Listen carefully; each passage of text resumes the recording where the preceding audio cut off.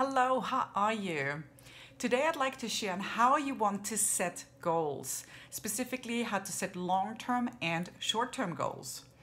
And if you want to stick around to get to the tea today, I have a wonderful tea that is an awesome replacement if you're ready to ditch the coffee and get a good kind of coffee-ish flavor and to help your liver detox. This tea can do it all. So stick around to the end.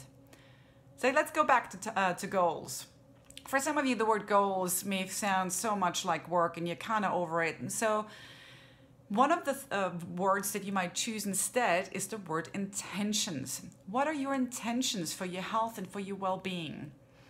And the first step I would recommend is that you think about your long term vision. I just had an awesome conversation with one of our excellent health coaches the other day.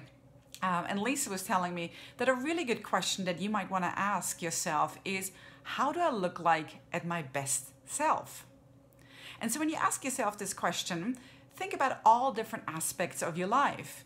How do you want to look like at your best self as a mom, as a dad, as the spouse, as a leader in your company, or as you know a socialite within your community whatever that may be just think about the different personas that you might play and the different interactions you have in life so that is obviously a vision you want to hold on to and you want to write down and you want to look at it as often as you can. But the next step is for you to start thinking about your short-term goals.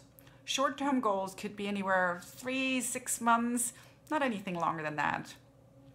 So on your short-term goal, goals, um, which may be, for example, you want to start um, moving, get really active, at least four times a week for 30 minutes. And so you may hear already here now that the concept of SMART goals comes into play, and I suspect that you have heard about that abbreviation from the business world. SMART is an abbreviation where the S stands for specific, so you really want to get detailed. The M stands for measurable, meaning you want to be able to say, I have achieved this because I know I have been now, you know, moving and being active four times a week for 30 minutes. SMA, the A stands for attainable. Is this really something that you're feasible, able, feasibly able to do? Uh, the R stands for relevant. So look back at your long-term vision.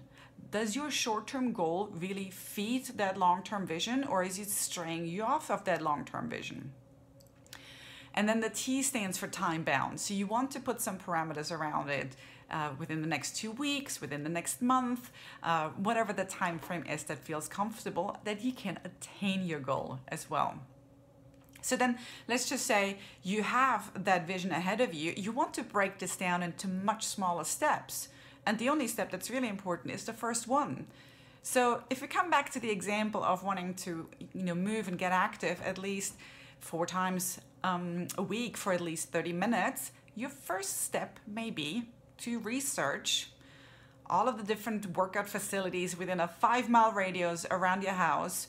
And you might say you're going to look at least at one yoga studio, at one dance studio, and at one gym, whatever the list is for you. And that based on your research that you will decide to take one um, session at any of these facilities. So that might be your first step. But again, you want to get smart um, around these uh, shorter term goals as well. So I hope this was helpful. I do want to come back to this tea today though. So it is, I know you're not gonna like this. It sounds awful, but I love the taste. It's actually called dandelion. Dandelion root, your weeds in the garden, the roots of that tea. And here's just one example that you can buy online. They come roasted and that's exactly what it tastes like. It tastes like this nutty, uh, coffee kind of flavor and apparently dandelion root is one of the best ways for you to detoxify your liver. So I've been enjoying this tea now for a month or so, trying to get my liver in check. Not that there's any issue with that, but you know, the liver is one of the most important organs that we have to really detoxify our body. And by the amount of stuff that we consume either through our mouth or through our skin or by inhaling, um, taking care of our liver is absolutely important. So I'm going to say cheers to you go ahead and start setting your goals, or even better, give us a call and we can help you do all of that together in collaboration. Have a good day. Bye.